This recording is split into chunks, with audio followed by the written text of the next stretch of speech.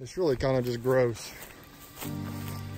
Walk down here and show you though, he's really having a good time. My brother has some chickens and I just bumped a bunch of the larvae down here amongst the chickens and they are happy right now.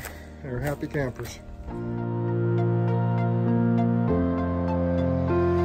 I'd like to talk about the hive that was on those cinder blocks back there behind me. And this is the hive where I pulled the frames of honey uh, for the video on how to pull frames of honey from a hive back in May. I noticed there weren't very many bees in the hive at that time and it continued just to get weaker and weaker and finally the hive is no more. It just kind of bowed on out. Um, it was overtaken by wax moths. That's what this video is all about. I want to show you kind of what it's like when you have a wax moth infestation and so forth. But before I get started, I'd like to thank everyone all over the world for watching my videos and I hope you'll subscribe to the channel. I'd also like to take a moment and, and tell you about a friend of mine who lost his shop and a lot of beekeeping equipment this past week here locally. Um, he does do a few YouTube videos. His name, the name of his uh, channel is Herding Bees with Rusty and Mike. And I'm good to put a link to a video he posted uh, after the shop burned down. You see what a great attitude he has, what a great guy he is. And I hope you'll check it out and maybe subscribe to his channel. He's trying to get this thing kicked off as well with his YouTube channel. Anyway, without further ado, let's see what it looks like when wax moths get in a beehive.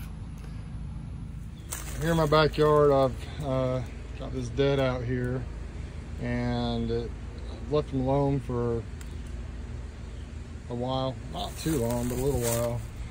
And this is what happens in Alabama in the summertime. In a hive that's got a lot of wax in it, dead out. See those beautiful big grubs, worm looking things? Those are wax moth larvae. This webbing right here is wax moth. It's just telltale sign we got that webbing of wax moth. If you look here, see they've just kind of taken over. I just, I noticed this thing was a dead out a while back. I just have not really fooled with it. Haven't had a chance. I was to go through it. I was thinking I would actually today utilize some of this comb and some stuff I'm doing, but look at that honey super. This is wasted honeycomb right here. So I'm just gonna have to get rid of this comb. Um, down in here you can see this is down in the brood chamber, bottom box. This hive has been one of my better hives for the past few years, but I guess it just, look at that, all that nasty webbing. So that, my friends, is what wax moths can do. And it didn't take them long to do this either. Now, if you look right here, you'll see they, um, man, they put their larvae, they like to attach it to the wood. The eggs, I guess, or whatever, however they do their life cycle. I down. They put these or cocoons or whatever on the edges. The cocoons are, there's like a little indention in the wood right there. They can really kind of wipe out a, see all on the edge there? They did their damage. So anyway, I got to get this stuff. I've got some other combs sitting out for the bees to clean up from the honey harvest a couple weeks ago. I got to get it processed and get it um, taken care of. Uh, one way to kill or to prevent, for sure prevent wax moths is to put your comb in the freezer first. Uh, that's hard for me to do. I almost have too much to do that with. If I see any damage just beginning, I'll do that sometimes. But then I use Paramoth um, for wax moth prevention.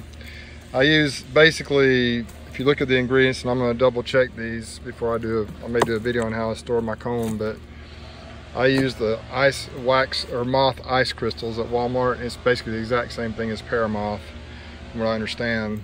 Um, and it's worked well for me for years. The problem with the, those crystals, those moth crystals is that they evaporate.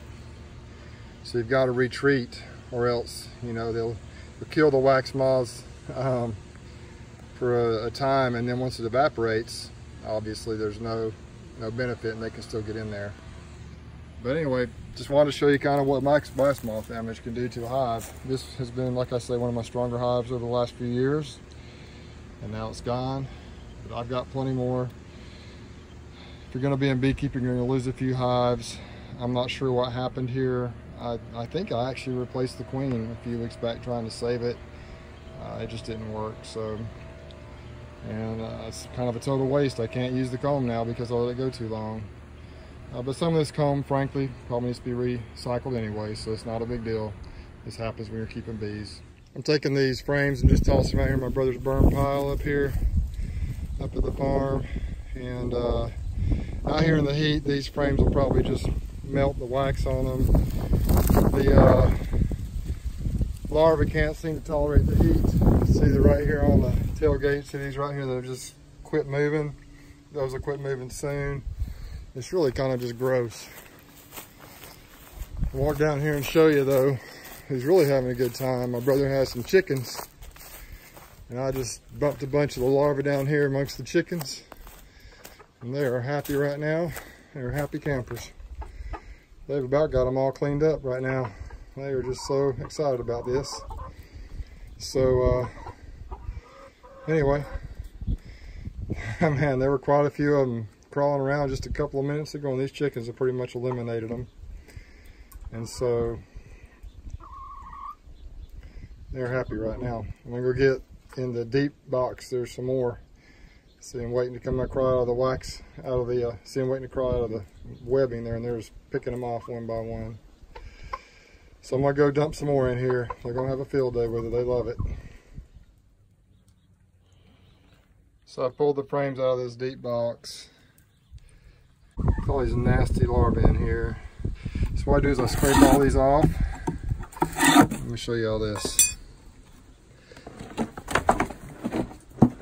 it back there with the chickens. And I'm just gonna watch them have fun. We're just gonna watch those chickens go to town here.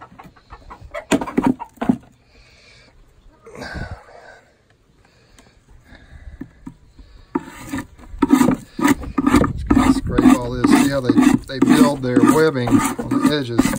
And all those larvae are hiding behind the webbing. a lot of them are. Just gross. See the chickens over there? They're having fun with it. I think this is pretty cool, I think. I'm a little sick about this hive. Anyway, chickens over there having fun.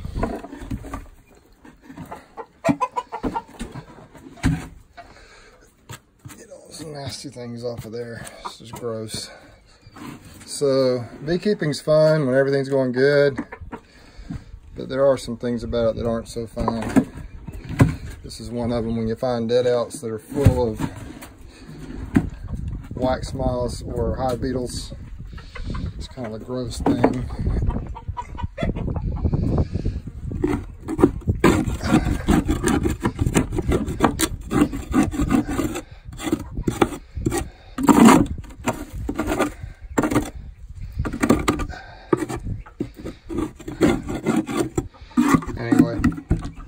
So you see what I'm doing with this. Giving the chickens a little feast. Well, I cleaned out this uh, box. Pretty much I'm gonna clean it out some more, but chickens are just having an absolute feast over here, loving this. These are the old nasty frames out of this deep box. Um, so, I think that's about it. That's a good thing if you have chickens that you can do this with. The chickens will eat it, eat them up, clean them up good.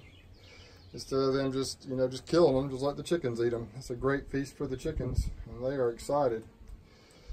My brother's chickens over here. Anyway, that's about it for today for this video.